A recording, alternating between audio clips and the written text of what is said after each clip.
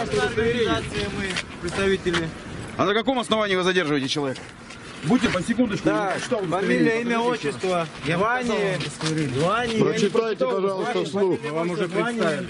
Мы уже представились. На каком основании вы задерживаете человека?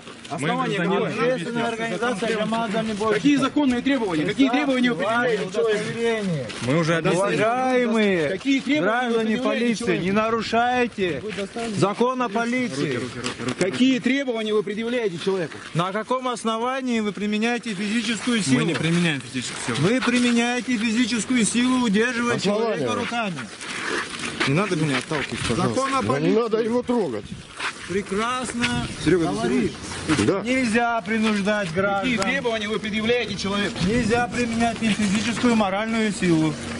Требования Нельзя какие вы оказывать физического воздействия. мы